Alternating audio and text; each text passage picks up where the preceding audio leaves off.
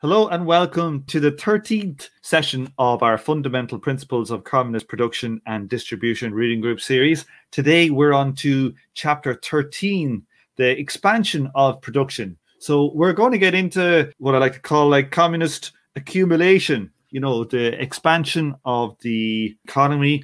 And, you know, to a lot of commies, that sounds kind of a bit for some reason, I think people find it a bit dodgy or something when you start talking about accumulation and expansion of production.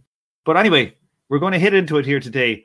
We have part A, the simple reproduction as the starting point. Who wants to read? Alex. Yo. You're back. I am. I was, yeah, my first grandchild was busy being born. That's taken my last few weekends. Ah, so, Alex, that's no excuse. Jesus Christ. I think it is, Tom. okay. Are you ready to hit this one? Yeah, let's do it. Let's do it. Okay. Chapter 13 The Expansion of Production. Section A The Simple Reproduction as the Starting Point. However, the adaptation of production to needs brings a separate issue into focus, which we must consider here. It is a matter of expanding old, existing operational units and creating new ones. In other words, it is a matter of expanding the production apparatus or accumulation. This expansion raises various problems for the distribution of the social product, which we have not considered so far. To make it possible to study the laws of the movement of communist operational life, we started from a social situation that will never occur in practice. We assumed that all operational units would produce on the same basis every year, in other words, we assumed that the production apparatus would not be expanded.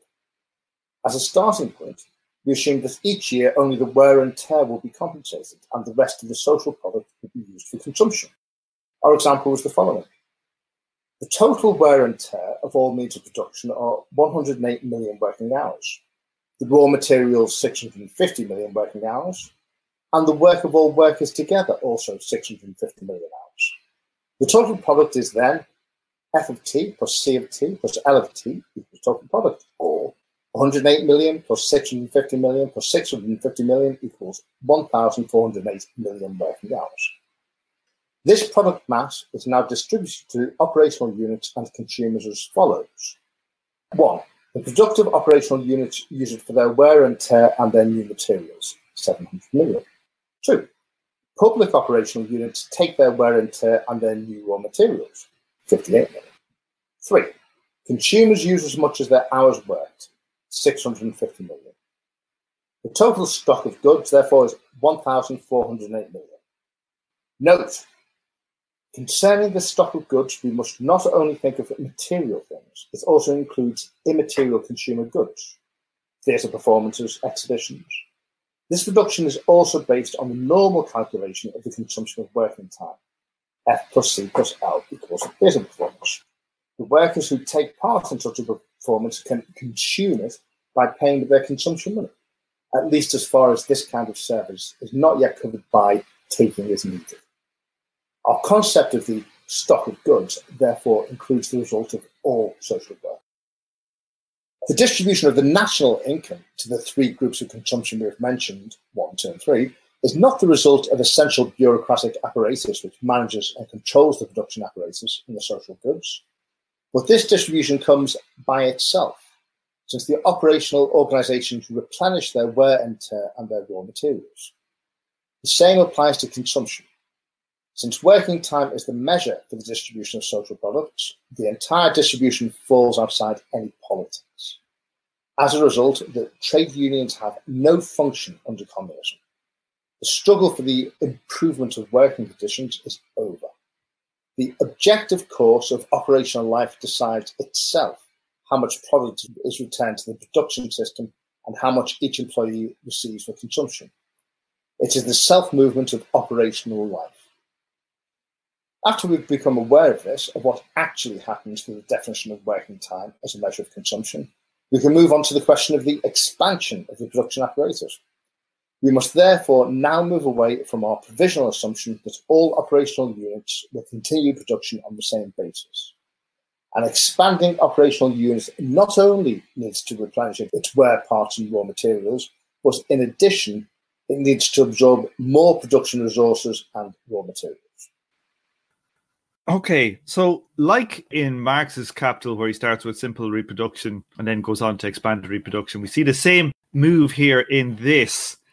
A lot of this is just kind of rehashing of the, the general gist. One thing I think probably we should note, given our ecological point of view at the moment, um, where they talk here about like expansion as a given. I can imagine that they're, you know, we should also kind of envisage like the ability easily for a communist society to decide to reduce output if they want like in a way that is planned i think this is a kind of an advantage particularly for certain industries i think you know in a planned way it could be very easily done there is one thing i think here that is is quite interesting alex you might still yeah i was about to read that very line yeah about to say that's uh yeah a brave conclusion from this section.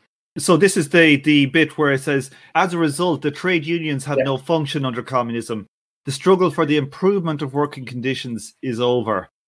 Okay, so that's kind of like uh, it, it's quite a. I'm saying the word pejorative, but uh, I think that that's not the right word. It's quite a tasty statement. I think that the trade unions would not really have a function. Uh, I don't think because you're they're not. You know, the the main function of trade unions under capitalism is to negotiate the wage level.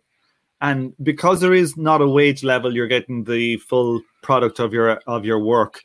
The trade unions would not have that function, but I can imagine like the the the function of worker safety and stuff shifts yeah. into the guilds, but I uh, or the actual factory itself, but not trade union.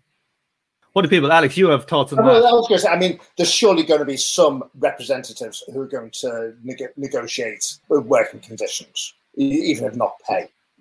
Yeah, I think within like the yeah, I think that's so. I I, I just think the function would be would be quite different. I think it would more be like well, a workers' council. Trade unions now, but you, yeah, but to say they have no function, I, I think well, I think they would. I think they would kind of, you know, unless we, depending on the trajectory of the revolution and how it would mm-hmm. organize. Like, would the trade unions be a, a massive point of organization, like in Spain, like the CNT? Is it more the party? Is it a combination of both? Like, yeah. you could imagine the trade union as an organization could morph. But I think the the the point at which let's say for example how a guild would decide on the type of machinery that's going to be used in a steel mill you know that would be decided primarily by the guild and the factories themselves as opposed to an external body that's the way i think it's implied the trade union has kind of morphed into a guild hasn't it in the sense of the yeah it's kind of dis- it's kind of dissembled like they would they would they would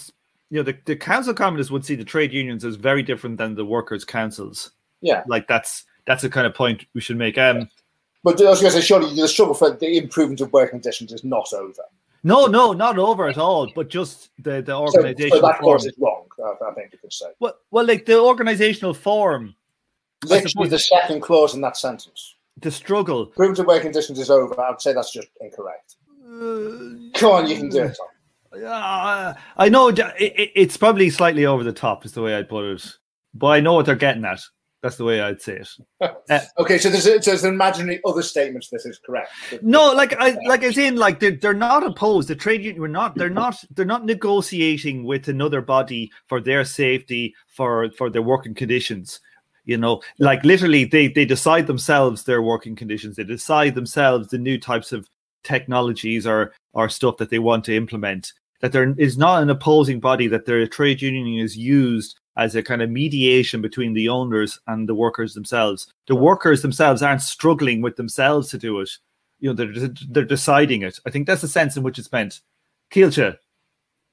I was going to make a similar point because that's pretty much what he does in the next chapter. He comes pretty hard for trade unions in Soviet Russia, and it, it, it's exactly as you said. But um, I, I was wondering um, what the overlap was between all these different terms. I'm not familiar with them very well. Um, obviously, workers' councils kind of make sense to me, and trade unions as a, as a, negotiating body with the employer. But you've got other types of trade unions as well, like in, in anarchist Spain, where you had more syndicalist trade unions. Is that the same thing? And then you've got guilds as well. So do they fit in? Uh, is a guild overlap with a workers' council, or would those be two separate things? Well, I'm using guild in the sense that he uses it for in communism as opposed to guilds under capitalism or feudalism. So the idea of say all the shoe factories together as a guild deciding their their production, where to put new means of production and all that kind of stuff. So I'm using guild in that in that sense.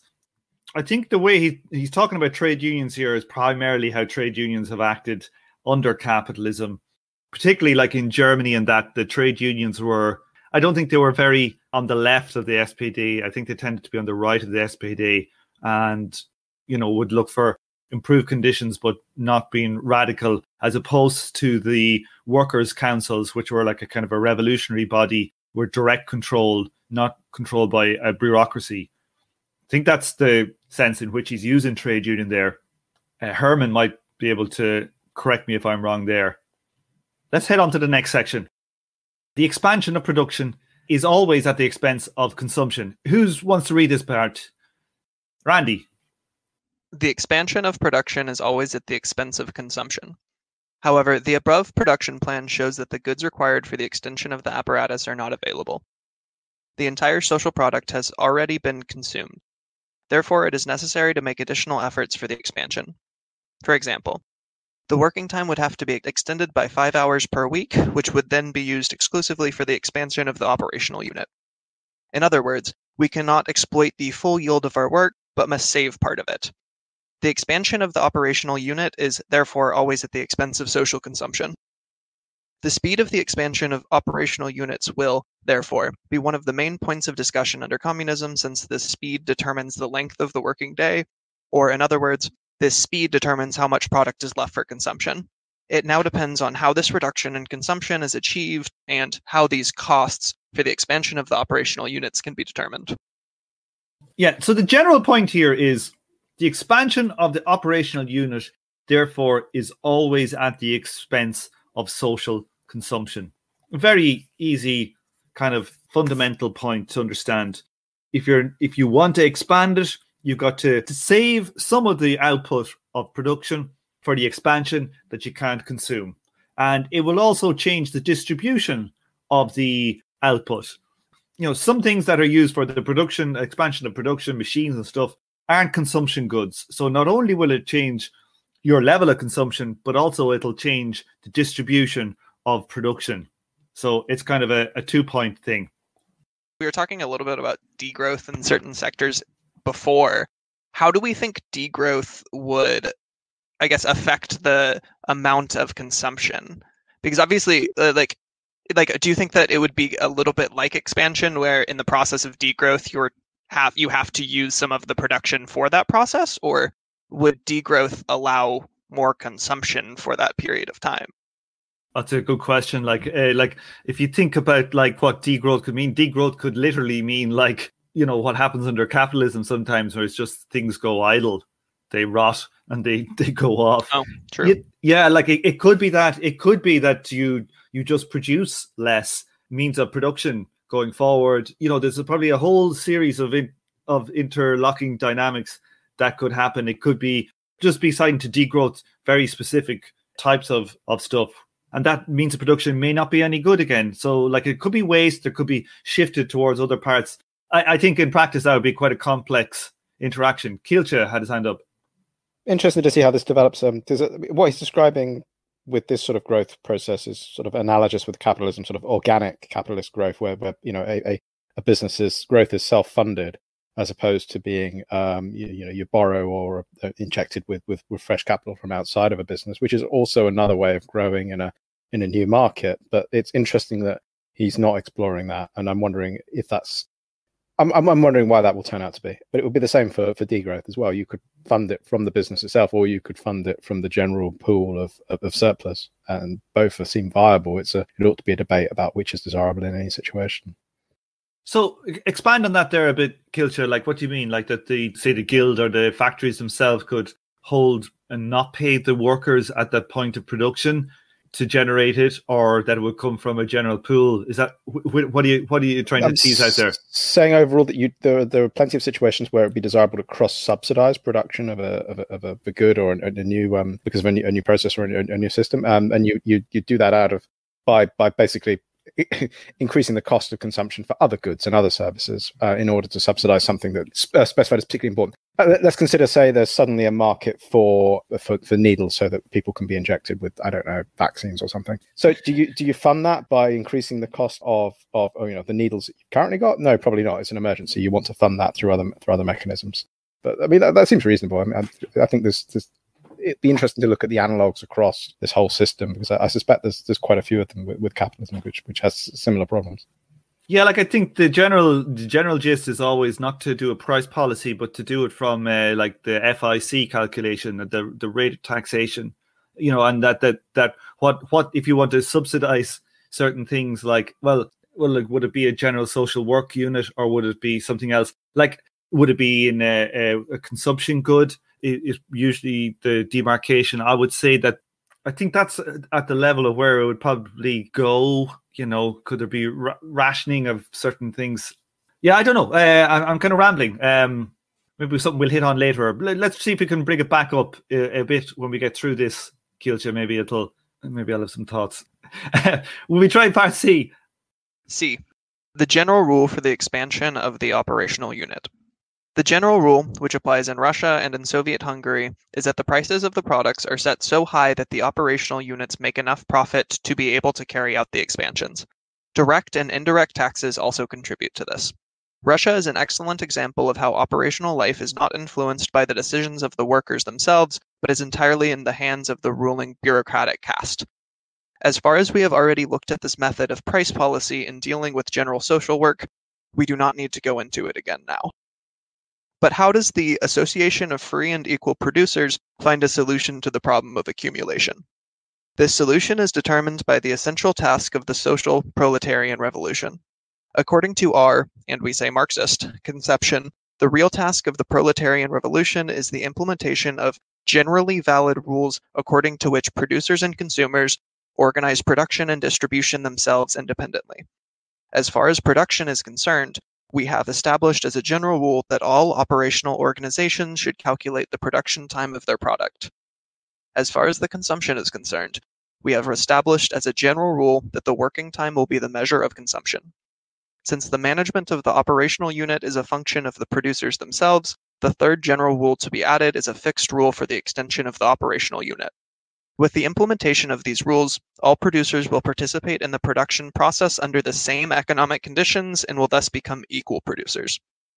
If we now take a closer look at the general rule on the expansion of operational units, it should be noted at the outset that we are not primarily guided by economic but by political considerations when dealing with this issue.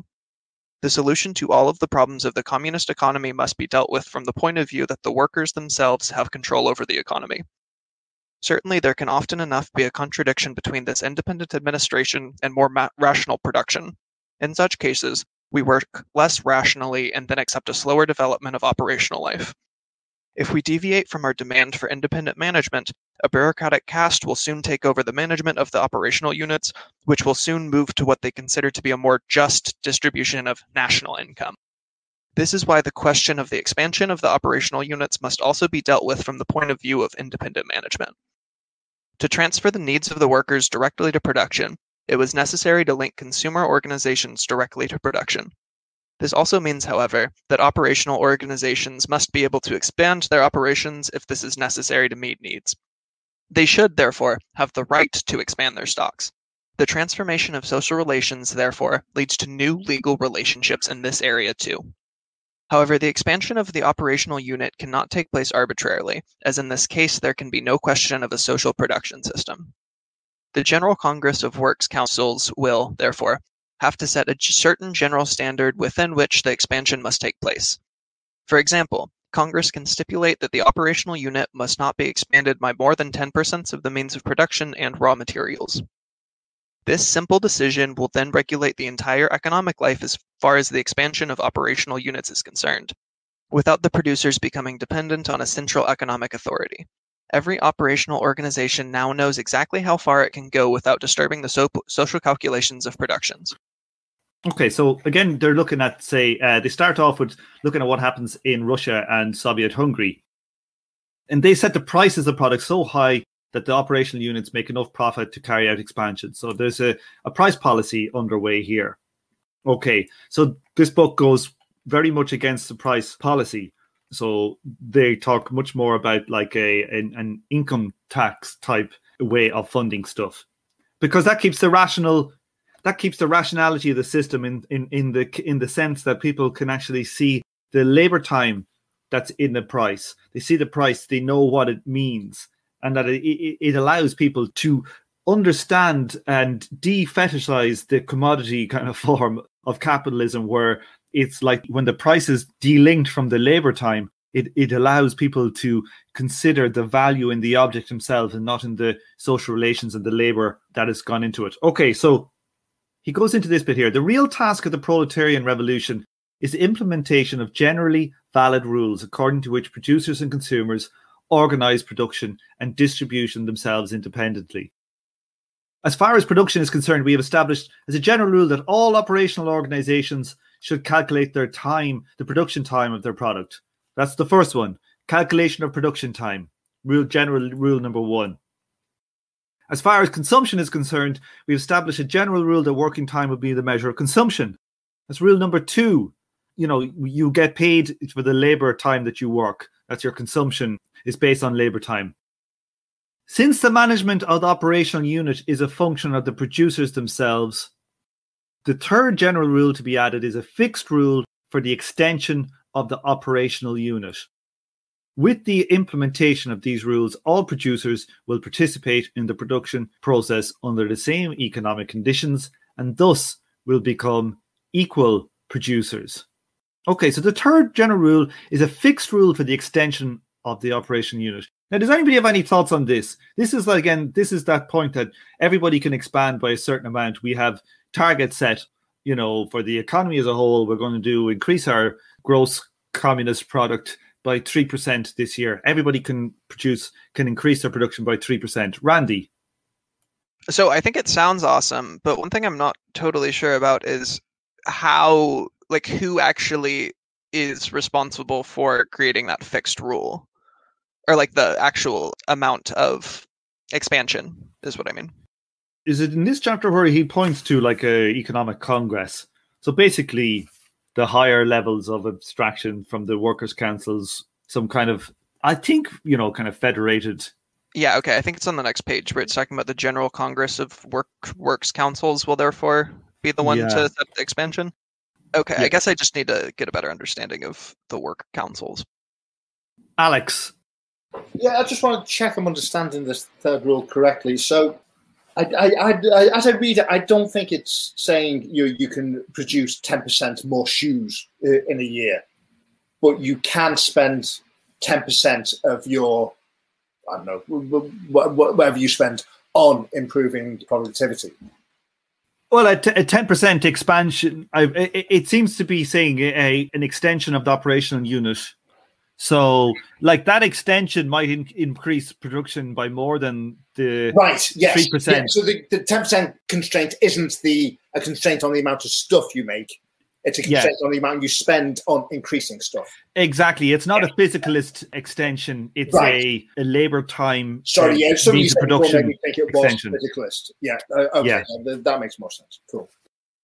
Alan should we interpret this as like a mandate to expand by that percent, or is it just you may, uh, you know, an operational unit may at its discretion go up to that percent? And if they don't go up to it, then is there slack in our calculations?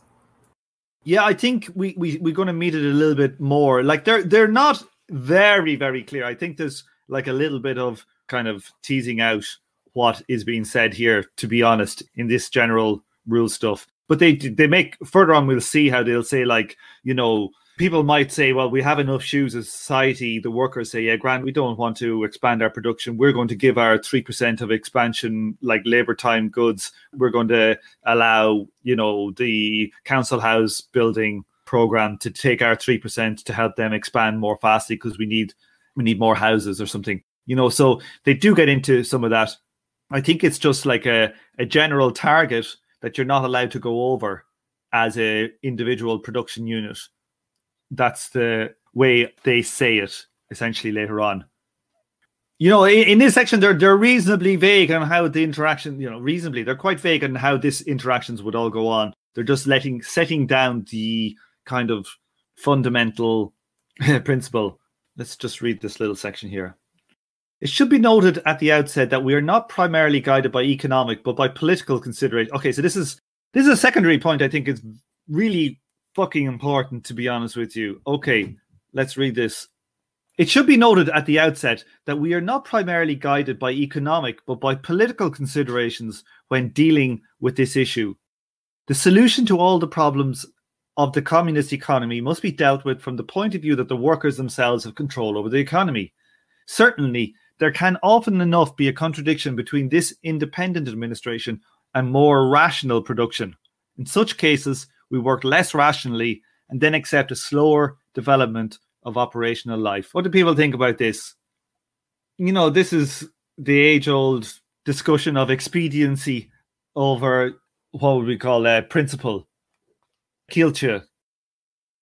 Uh, yeah, and I see what I see what they're saying um, in terms of like uh, self management of, of, of operational units, and I guess that's what independent means in this case.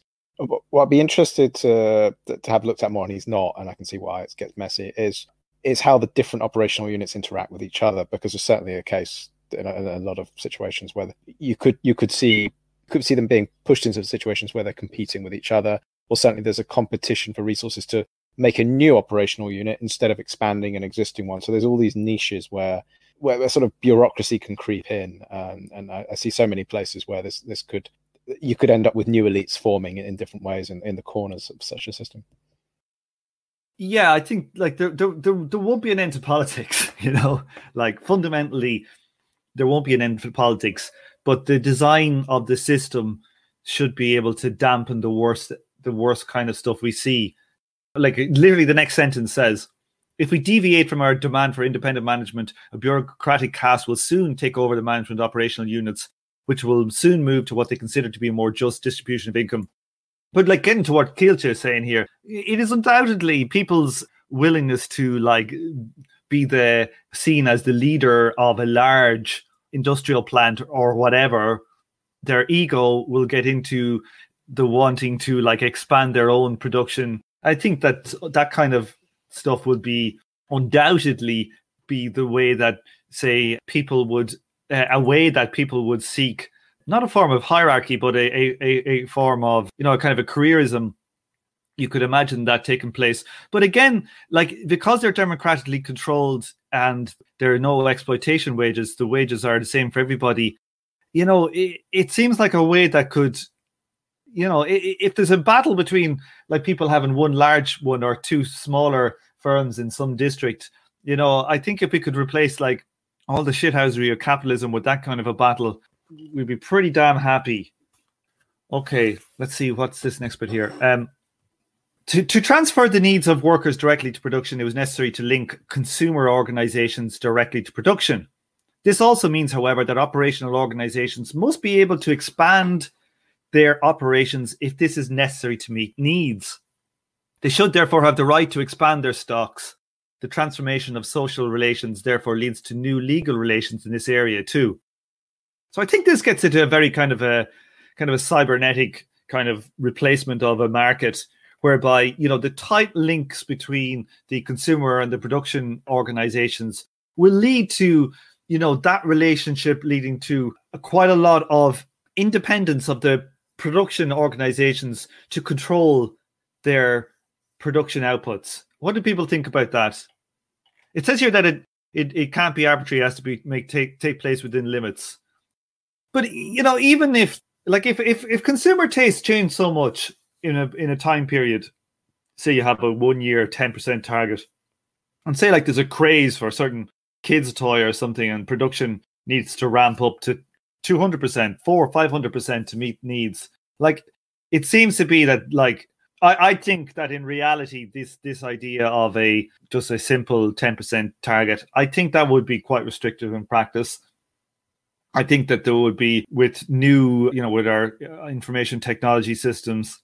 cybernetic approach, I think that it, it would be a lot more flexible in, in reality. Am I alone in thinking that? What do people think? Alex? No, I agree with you. I mean, not just for the like new toy, but you know, to, to like counter, you know, huge inequality within a, country, you're going to need your know, units in some regions expanding more than in those, uh, I'd imagine. Yeah, but more so, like I can imagine that could be handled within this situation if people like say, oh, they transfer their, you know, like one workers' council or guild says, oh, we're grand, we have no shoes, and they can transfer it. But I mean, just more in a dynamic sense, you know, like I feel like that there's probably lots of dynamic stuff happening. Donal. Yeah, I think that's true, and I think probably a lot of this, uh, I imagine, would be handled at the level of the guild as well, not really as it's talking about here, maybe at the level of the the individual workplace because I mean everything is cooperative in this thing. You know, the prices are formed through a average social production time. Obviously, the the actual production effort is cooperative and distributed between firms. So, yeah, I mean, I think it would be, as you say, it, it lends itself more to a sort of some kind of cooperative or cybernetic principle, and not so much to an individual firm expanding, like having the complete independence to just you know randomly expand it, its capacity or its stock whenever uh, the need arises. That's how I see it. You could imagine, like, say, a firm that does have to rapidly ramp up production for some reason or other, that they do so uh, as they kind of need to, and like the kind of planning or guilds and stuff will be able to see if if the system itself can take it. You know that well, this we need an extra 15 tons of coltan can we accommodate that? You know and, and that kind of stuff. I think that those kinds of kind of built-in kind of reactive stuff will take the place of hard limits well i think it, would be they would have much less of a place these hard limits in a system that would be designed with today's technology than would have been designed say with the technology of the 1920s or 30s alex? Well i think there's, there's two things. I mean there's the the, the, increase in like the operational units, and then there's ramping up production of particular things, and that's more commonly switching production rather than you know building you know, a, a, dozen factories. You know, like like the, the Second World War, you know, the states didn't build plane well, okay, they built plane factories as well, but they just you know took all the car factories, said right, you're now building planes. Yeah, like, and I think yeah. those type of big scale but even small stuff like, like you know, the example you gave of a toy that becomes massively fashionable, then toy making factories will just switch to make that toy. They won't build new factories. So it's not an increase in the operational unit. Yeah, yeah, yeah. But like, let's say if you did, let's say though, if you had a, an overall increase in say toys consumption. Yeah, but that's not going to be more than ten percent, is it? Yeah, no, I'm just we're just yeah. talking, you know, in the abstract. You know what I mean? like, but yes, I think that certainly for stuff like you're saying there, like like that shifting of switching of production. Yeah. Okay, Alan. Uh, that's maybe opening up a bit of a can of worms, but like on the topic of these micro changes in what we're thinking of as consumer taste, one could imagine maybe not having to deal with that in all cases in terms of social labor. If we think about like, you know, 3D printing and yeah, obviously not everything falls into that, but maybe domestic production for lack of a better term if we have individual consumption maybe there can be individual production according to you know i can make my own custom version of this or that garment or something i download you know patterns and run it through my computerized sewing machine and, do, and make my own clothes that kind of thing and that would be outside any of these uh, uh, labor hour calculations because it would fall under my individual consumption for the raw materials and, and the machine and all that Oh, you're a dirty libertarian. No, it's true. Yeah, no, I think that stuff's cool. Like there was, I remember about 10 years ago, I came across this thing. Don't know if anybody's ever heard of it. I think it was called the RepRap project, where you basically you can build yourself a 3D printer out of components, and the the goal was for a printer that could print itself, and then it could print other stuff, so that you you could decentralize production into the home Patrick says RepRap is, is still going. Yeah, like I, I do like the idea of being able to print uh, kind of micro circuits and stuff like that. That would be cool. Kielce. Now that we're sort of expanding our horizons, um, it, it's always worth talking about and considering the possibility that once you have a, a communist system, that a lot of the a lot of the, the things which push us to to follow fashion closely, those stimulus are, are relaxed slightly. Uh, it'd be interesting to see how much people still want to have the latest toy for their kid or how much Jamie how much influence Jamie Oliver still has in, in such a different society. I'm looking for a post Jamie Oliver communism. That's that's that's what I'm heading for. No, I, I think it, it's definitely true, but I also could could imagine, say, for example, we see in revolutionary times there is massive increases in creativity that we might actually find that well, like the concept of the brand, I think will be will will will disappear. But you know, we could see like a a vast increase in the number of products that people want to use and consume when there isn't the kind of a homogenizing uh, advertising unit pumping out what is like the standard kind of consumption norms for for people. So I could imagine we could have a, a blossoming of, of stuff here. Yeah, that could be could have big implications perhaps for uh, how things are produced. Okay, who wants to read this next section? Any hands? Alan here. This simple decision will then regulate the entire economic life as far as the expansion of the operational units is concerned, without the producers becoming dependent on a central economic authority. Every operational organization now knows exactly how far it can go without disturbing the social calculation of production. If we look at the example of the shoe factory already used, production is calculated as follows F plus C plus L equals 40,000 pairs of shoes, 1250 working hours plus 61,250 working hours plus 62,500 working hours equals 125,000 working hours. This is an average of 3.125 hours per pair. The operational unit now has 10% of the production equipment and raw materials available for the expansion of the plant, i.e., 10% of 62,500 corresponds to 6,250 working hours. The following year, an amount of 62,500 plus 6,250 working hours appears in the accounts of the operational unit and in those of the general social accounts under the heading Taken from Society. If all the operational units now use their rights, they are all increased by 10%, which means that the entire production system has been increased by 10%. This is the production comparison for the current year. FT plus CT plus LT equals total production. Then it will be for the next year 1.1 times FT plus CT plus LT equals total production. D. The application of the general rule. Such a decision, for example, to provide for a general extension of a maximum of 10%, aims only to regulate production and consumption in broad terms in order to determine broadly how much product can be withdrawn from consumption without causing a disturbance. The sole purpose of this is to ensure the mobility of operational units so that producers can actually adapt production to their needs. It is clear, however, that not every operational organization will have to exercise its right to expand its activities, as several sectors will be able to meet all requests. On the other hand, there are other industries, housing, food industry, that are still far from being able to meet their needs for the time being.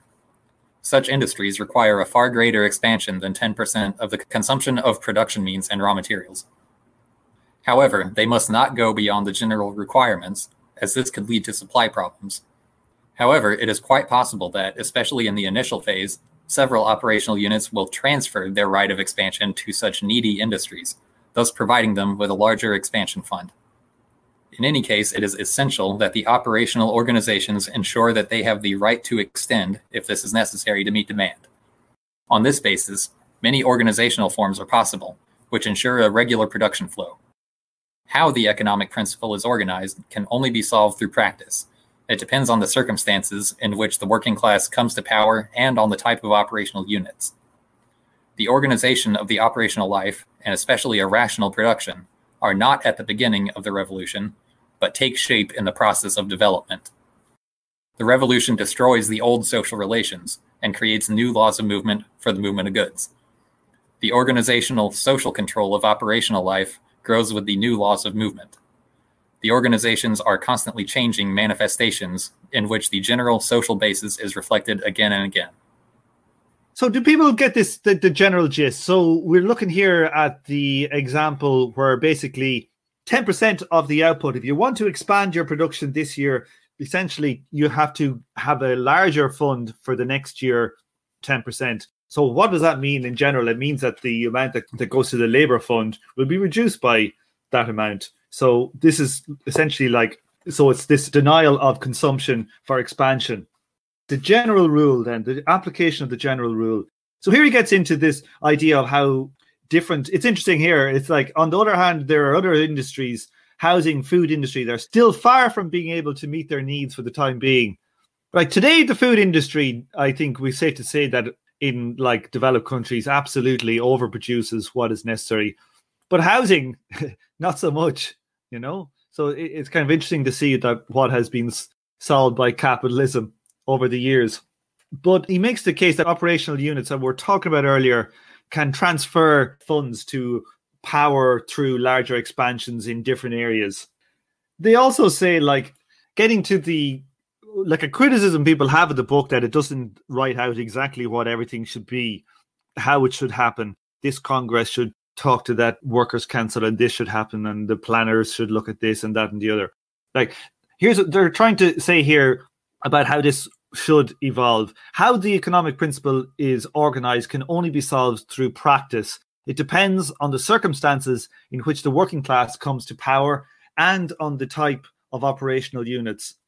The organization of the operational life and especially a rational production are not at the beginning of the revolution but take shape in the process of development. The revolution destroys the old social relations and creates new laws of movement for the movement of goods. The organizational social control of operational life grows with the new laws of movement. The organizations are constantly changing manifestations in which the general social basis is reflected again and again. What do people think about this section? Randy. So I think especially since we keep coming back to, you know, like energy infrastructure and the transformation and stuff, I think it's really awesome that they are really like talking about how the organization will have to meet the needs of the people during you know during and after the revolution like it's so dependent on the time and place that you can't just have like you can have the broad laws that they laid out before but the actual specifics of it i think if they had if they had tried to provide specifics of it that are just focused on growth i think a lot of them could be useless to us whenever we're also you know having to focus on other things you know? So i think it's i think it it might be a criticism of the book but i actually think that it makes the book more accessible to us now. Yeah, I kind of think it's a strength of the book, to be honest with you, that it hones in precisely on what these fundamental principles should be and less on, you know, councils upon councils upon councils and how this committee talks it out. I think it's it brings clarity to the whole whole idea of communism. That's the brilliance of it. Kielce. I, I, I agree with all of that, uh, although I've got some caveats and concerns that I wish he would address, which is that when he sets out laws, um, but doesn't say sort of like how you know how we'll actually sort of set up organizations to apply those laws. That that works well because you've got basically pressures being brought to bear that that naturally will resolve themselves through through through mediation of these different organizations. But in this particular case, it's not clear to me how those laws would encourage the cooperation to sort of turbocharge growth um, in, in, particular sectors within it. What is going to encourage a, a, shoe factory to surrender some of its organizational capacity so that more houses can be built? I, it sounds really messy and like there'd be a lot of sort of really nasty sort of neg- negotiation and polit- politics like we were talking before, but not under girded by any particular pressures for that to work in the same way that some of some of the other some of the other parts of this of this of, the, of this process would be. And yet capitalism does solve this problem and that's that's why it concerns me because capitalism that would you know um, would raise prices in all of these areas that would encourage more investment and and i'm not seeing that that sort of same underlying set of laws to, to help in that process yet. So give me an example give an example of a firm and we can see if we can tease it out. So you mean a a firm where, where where where this particular set of circumstances wouldn't help in in, in terms no of no just i mean just say give us a kind of a, a, test case scenario and see if we can like discuss how the the system itself would okay so, so regulate it so you want to build houses you need steel um, and perhaps i don't know uh, you also need steel to make cars and then both of them we don't have enough of them. So how do you how do you um, you know organize which you've got a factory that makes cars and you've got a, a factory that's making materials for making houses and um, how do you mediate the discussion on like which one you need to you need to turbocharge the growth of is is it's not clear to me there's there's a, there's a way to resolve that situation that that would scale okay so like I, I think like because we have the the fundamental link between production and consumption things that we do have an idea for consumption levels, and they tend to be like on on on a lot of goods tend to be quite quite flat, or they'll have trends. So, like say for example, you want to increase. Say you need fifty new trucks to build this, you know, new block of flats or something area that you're going to you you want to build. Say or the channel tunnels. Let's say you're building another channel tunnel. You're building Boris Johnson's bridge to fucking Belfast, right? From Stranraer. Okay, like let's say you're you're you're doing that, like, and let's say you you calculate uh, as they do. They literally actually the I think the British government have done a report on it, and they calculate like whether they can actually harness the economy to get all the resources to build this thing. So, like, you could say that, for example, we we will actually need you know, 10,000 new trucks. Okay. And currently we're producing only 50,000 a year. That's 10,000 extra trucks need to build. Now, the, the truck plant might actually have capacity, they may not. You know, so society, if it's a big enough thing, I think society might have to decide to push more expansion towards, say, the truck thing or not. But that that ha- that kind of large scale implementation of like new expansion of production under capitalism a lot of times is pretty planned you know? It is planned through the corporations themselves. They do plan their growth. So i don't see why you could not uh, plan the growth i think if you're getting towards the idea of like the workers in the truck companies or whatever or truck f- factories they have to you know now produce you know 20% more goods. Well then i think you could we, that would naturally see like either people want more consumption they'll work longer hours or a shift of uh, workers towards those. I, I i'm not so sure if it'll be as nasty as you think it, it will be. Somebody alex has a hand up but i think somebody put up before alex first let's go with alex and whoever else it was yeah it was donald before me yeah i'm, I'm wondering how much of a problem this is because I, I mean i I don't think you actually need, you know, um, your factories to donate the excess. You know,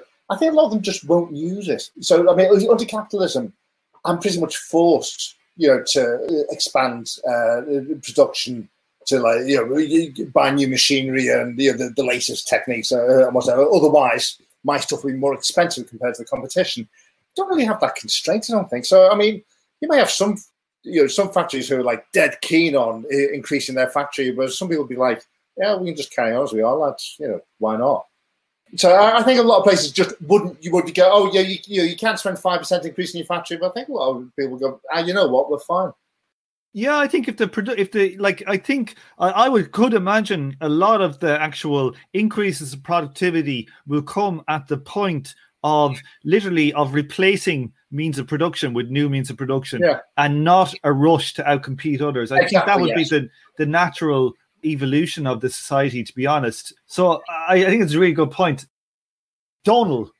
Yeah, so just on the on the specific thing that was brought up, one thought, and I was talking to you about this before, Tom. Uh, one thought I had was in terms of if you had, or if the society had a kind of strategic choice to make, what you could do would be to create some kind of tools that at least make those choices easier. So one thing I was thinking of was this like idea of uh, product labor capacity maps, and basically the idea would be kind of simple enough in the sense that you have everything in this economy being priced in integrated labor time. So what you would be able to do is to have, if you're familiar with the idea of an input output table, so you have input output tables for every product linked through the economy. And so you would be able to see, you know, if we did build uh, a thousand trucks, uh, what would be the extra requirement uh, we would need for steel and uh, fuel and more trucks and so on. And you'd be able to, you know, like a visual representation of an input output table.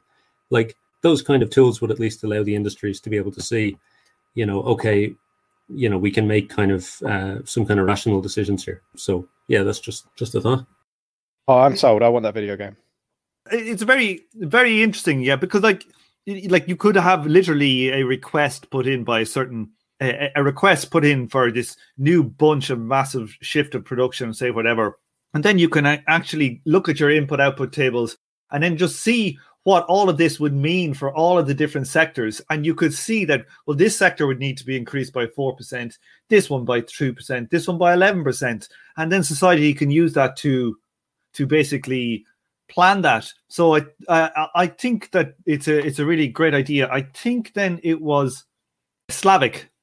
Yeah. Uh, so again, you have a bunch of poor countries with undeveloped means of production, or the production isn't evenly developed across the world. So, what I guess are there incentives or anything for poor places to basically catch catch up? I think what was pointed out earlier was, well, you know, areas that already have like a well developed means of production, they may not want to, I guess, donate any of their labor to improving the production in areas that the uh, operational unit isn't particularly productive to to catch up, basically. And so, what what would be the incentives to, uh, I guess, get everything evenly developed across the globe? Good question. I think that there's probably a couple of things there. I, I think even even the idea of a non-exploitative wage would bring up the what could be consumed in the poorer parts amazingly because they'll have the same consumption capability as those in the developed parts. So there's that. But also, I think with respect to productivity, you know, we have to assume they're in the same, you know, logical area. You know, they're the same communist, we'll call it country just for ease of term, but area or whatever. That the the guild. So if you have like a mattress producer or a shoe producer in the poor, unproductive area, when they join that guild, they will be the first to receive funds to increase their productivity at that point. Like the aim of all the guilds will be to bring up all of the factories within the guild to the same productivity levels. I think that's kind of like would have to be a, a very core component of the guild system. So that's how I would imagine it. Like I know there was all manner of problems, as particularly like I think in like I remember listening to some long uh, series of stuff on the Yugoslavian experiment that there was that was a very major problem. No doubt, with your name Slavic Dreams, you're probably aware of uh, of some of that stuff. But like that was definitely the case for like places in like I think that were further developed, like Croatia, having to subsidize backward places, backwards productive places like Montenegro and places like that. I think that was a huge bone of contention that allowed really helped in the carving up of Yugoslavia from a single entity in the 90s. Try section E then. Who would like to read this section? Patrick. Kielce, were you, you putting your hand up? yes, I was. E, the influence on the payout factor. We have already seen above that, in our opinion, the costs of expanding the operational units cannot be recovered through profits of the units i.e., through any kind of indirect taxation. The basis for the transport of goods is and remains the socially average production time of the products. The reduction of consumption can, therefore, not be found by way of price policy, but must be achieved by a direct reduction in consumption. How much does each worker have to contribute to this expansion of the operational unit? For those who have carefully followed our considerations on the payout factor, the solution is very simple. For the total production, we have assumed F plus C plus L equals total production. 108 million working hours plus 650 million working hours plus 650 million working hours. The cost of the plant expansion is now 10% of F and C, 10% of 758 million working hours equal to 75.8 million working hours. This amount must be paid by all employees together so that 75.8 divided by 650 is 0.12 of their consumption. According to our calculation, the payout factor without operational expansion was 0.83. This is now 0.83 minus 0.12, which equals 0.71 with operational expansion. So, for a working week of 40 hours, everyone receives 0.71 times 40, which is 28.4 hours of consumption. F, special accumulation. In addition to the usual accumulation, we will also look at the special operational expansion. By this, we mean the realization of larger works that will take several years, such as the construction of bridges and railways, the completion of transport routes, the construction of seawalls, the reclamation of wasteland, etc. These works usually take several years. Such activities also reduce the quantity of the product for individual consumption. As long as, for example, a railway is being built, all kinds of tools and raw materials are used. But for the time being, no new product will replace them. Moreover, the workers who work on it are taken out of normal production, so they too consume, but do not return any products during these years. This kind of expansion of production absorbs a significant proportion of the social product, from which it follows that an important part of the discussions at the economic congresses of the workers' councils must deal with the questions of to what extent these works should be initiated and which ones are the most urgent. The higher the productivity of the work process, the easier we can satisfy our needs, respectively, realize the special accumulation on a larger scale. If we conceive society as being not capitalistic, but communistic, there will be no money capital at all in the first place, not the disguises cloaking the transactions arising on account of it. The question then comes down to the need of society to calculate beforehand how much labor, means of production, and means of subsistence it can invest without detriment in such lines of business as, for instance, the building of railways, which do not furnish any means of production or subsistence, nor produce any useful effect for a long time, a year or more, while they extract labor, means of production, and means of subsistence from the total annual production. In capitalist society, however, great disturbances may and must constantly occur. On the one hand, pressure is brought to bear on the money market, while on the other, an easy money market calls such enterprises into being en masse, thus creating the very circumstances which later give rise to pressure on the money market. Pressure is brought to bear on the money market since large advances of money capital are constantly needed here for long periods of time. And this, regardless of the fact that industrialists and merchants throw the money capital necessary to carry on their business into speculative railway schemes, etc., and make it good by borrowing in the money market. This is uh, Karl Marx, Capital Volume 2, Chapter 16. Therefore, if it seems desirable to build a new railway, a budget must first be drawn up stating how much social product, how many working hours, this will take up in total and over how many years it will be distributed. The character of this work is that it belongs to the type public, i.e., it burdens the budget for general social work, GSW. Although this reduces the payout factor, the costs of such an expansion of the operational unit are borne by society as a whole, without breaking the link from the producer to the social product. Once the product has been completed, it can be transferred to the administration and management of the operational organization, which will now carry out the normal operational calculation. In this way, it can be transferred to the productive type of operation, for example, if required. Okay. So that's very interesting. So like the idea like society makes these decisions based on like these big ideas that we want to build a railway here or some sea defenses here or reforestation over here or or whatever the hell it may be and like society is is taking a huge amount of stuff out of basically consumption for a long time but like once once the actual railway or whatever is built and during that time it essentially operates as a general social works unit yeah? It's like a hospital or whatever it's just getting all the funds it needs to do itself.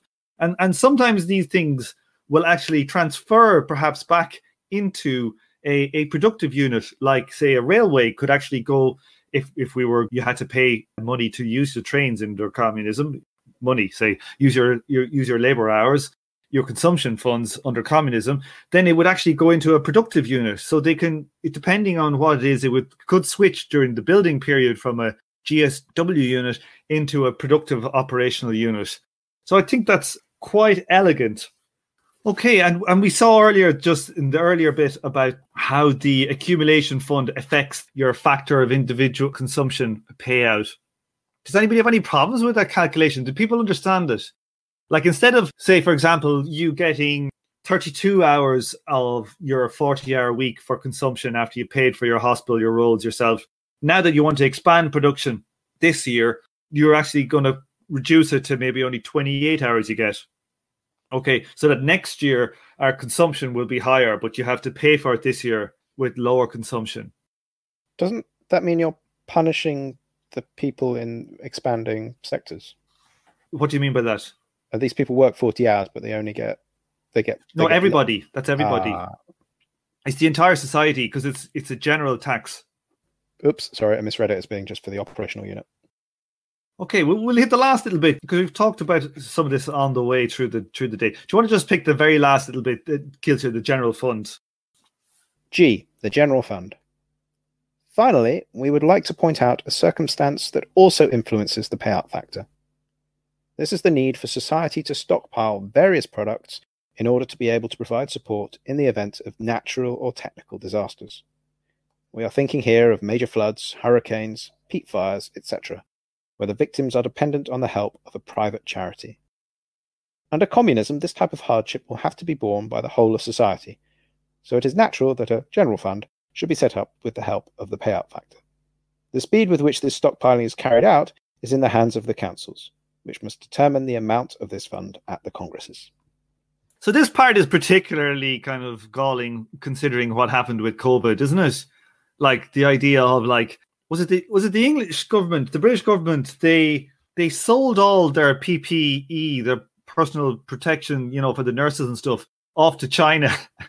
and thought they were making making bank and then it came back to bite them in the ass. And Trump, I think, closed a lot of the stuff for the that Obama had set up for pandemic Preparation. preparation. Yeah, and even Obama made a total mess of even Obama. My God, Obama made a total mess of. I don't know if people heard about that. There was like some wasn't there a kind of a they put a whole load of money behind creating cheap ventilators, where they wanted to have like a thousand dollar ventilator. And did anybody hear about that scandal? Yeah, I heard about that. I I think it was something like so there was going to be money put into developing it and basically it was I I don't remember exactly but I think it was like they basically retracted the effort to make a, a cheap affordable ventilator So what because happened? there wasn't a market for it at the time. I'm not sure. No, I think what happened was that they get, they put it out to kind of tender, and these like companies started developing them. And then what happened is the ventilators went in and bought out the oh, developers, Yeah, and then they sh- right. and then they shut them down Down. be- because their ones were worth ten grand and they didn't want to lose money. So like, you know, there's some incredible like market bullshit going on there. But I think this gets to a, a kind of a deep point. I think that is important for managing any kind of society as well is just general kind of in, in MMT they call them buffer stocks. I think that's kind of a general kind of economic term for them, but general buffer stocks of of important types of outputs. You know, whether that is food, you know, technical equipment, and even to the extent of just even large amounts of redundancy in the system where capacity can be pumped up quickly in key areas. I think that that would be a very important thing for communism to to get away from this idea of just in time delivery to the extent whereby a small deviations from the plan cause, you know, systemic crisis. Anybody have any final thoughts then on today on accumulation? What do people think about how the chapter deals with accumulation as a whole? Do people like the idea of commie accumulation? Some some people, when you talk about communist accumulation, it, it makes them think that the value form is back to work. Kielce. I, I think it didn't really hang together for me. But what's really interesting for me is neither really does microeconomics when when studying sort of similar. Trying to try, trying to create models is hard. Yeah, so I, I feel like it's part of the problem here is trying to describe something that doesn't exist. It's inevitably gonna gonna gonna look unrealistic, and and I think it's just part of like it being such a such a huge change that it's very hard to describe it in a way that, that that's easy to to digest. I think they make a good case for how accumulation can be done in a planned fashion and how the accumulation itself is not a thing that is done behind the backs of the capitalists and the workers themselves by the social relations and the value form.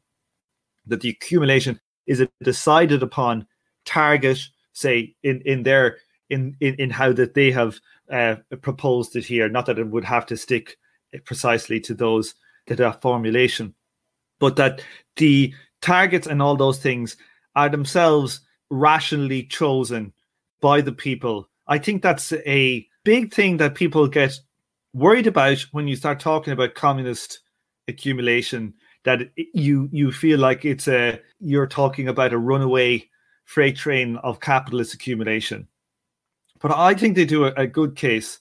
Uh, any final thoughts in here before we wrap off for today? Okay we'll take for next next week we'll do chapter 14 we'll do section 1 the control of operating life all the way from 228 to 248 thanks everybody for coming and uh, sure i'll talk to you next week